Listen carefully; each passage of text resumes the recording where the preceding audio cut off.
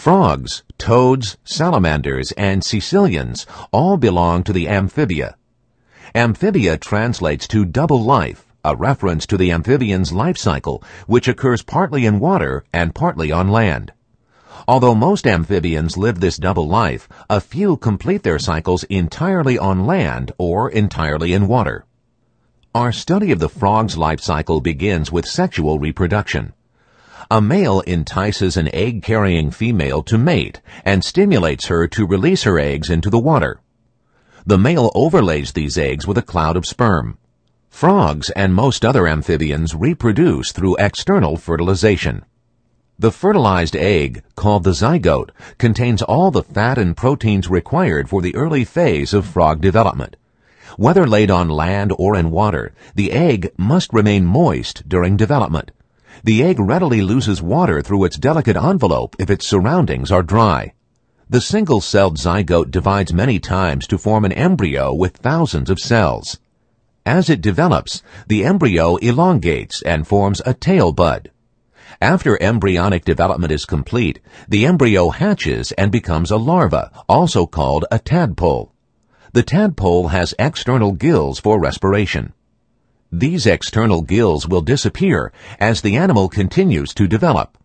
The tadpole will transform itself in a process called metamorphosis, which is controlled by hormones. During metamorphosis, the external gills are replaced by internal gills and hind legs begin to appear. Virtually every organ in the frog changes and becomes suitable for life on land. Metamorphosis continues as front legs appear and the internal gills are replaced by lungs. The tail begins to be resorbed. The mouth of the larva widens and develops an insect-catching tongue.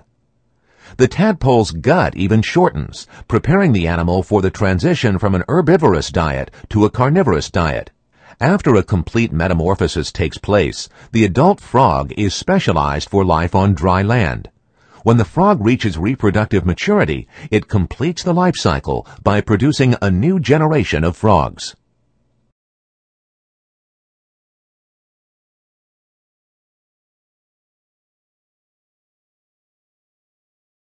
If we look at a cross-section of an embryo of the frog Xenopus, we can see that at this point it is a ball of cells with a fluid-filled cavity. The cavity is the blastocele, and the embryo is currently in the blastula stage of development. A blastula contains large yolk-filled cells at the vegetal pole and smaller cells at the animal pole. The three colors represent the three tissue layers that become defined early in embryogenesis. Yellow indicates endoderm, red indicates mesoderm, and blue indicates ectoderm.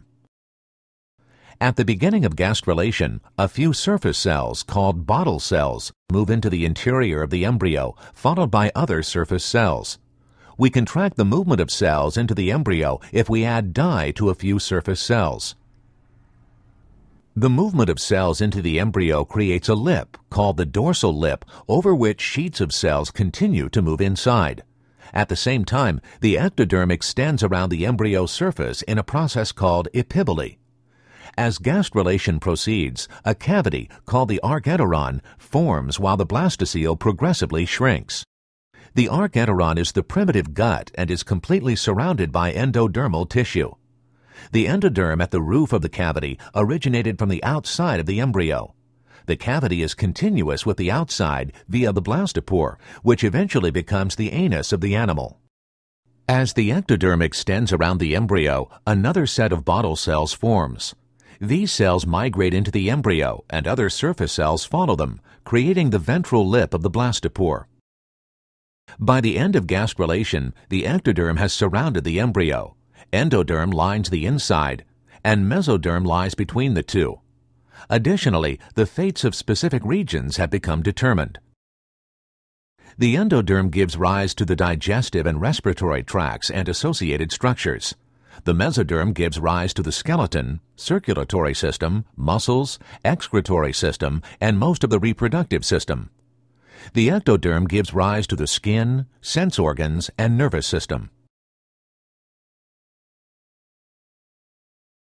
This sequence shows early embryonic development in the frog Xenopus.